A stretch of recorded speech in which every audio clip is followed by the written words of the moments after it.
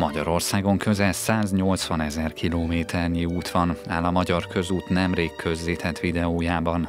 A társaság ennek nagyjából hatodán több mint 30 ezer kilométeren üzemeltető, a megyében ez közel 2300 kilométert jelent. Ez pedig négy évszakos munkát jelent, feladatok télen is vannak bőven. Az idei bár enyhébb, de szélsőségesebb, változatosabb volt a korábbiaknál, Elég csak arra gondolni, hogy február első napjaiban napközben plusz 15 fok volt, míg rá egy hétre már mínusz 15 fokot is lehetett mérni.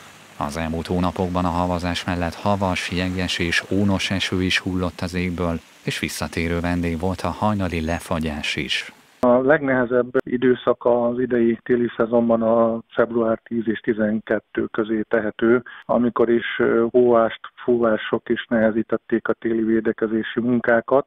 Itt az ónos eső elleni preventív védekezés és a síkosságmentesítés mellett a hullott hó eltávolítása és a hófovások megszüntetése is feladat volt. A folyamatos jelenlétnek köszönhetően azonban elzárt település még a jelentős hófovásokkal érintett helyeken sem alakult ki.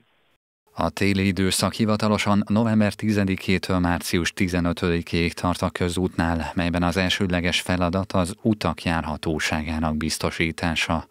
Idén azonban nemzeti ünnepünk után is adott síkosságmentesítési munkát az időjárás társaságnak. Ezen feladatok száma a szezon egészét nézve megugrott.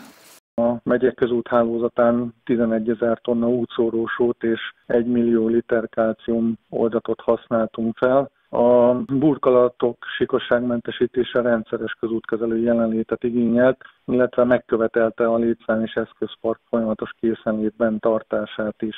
A téli védekezési feladatok ellátását az 12 órás váltott műszakokban valósítottuk meg, mint egy 280 fő és közel 70 gép bevonásával.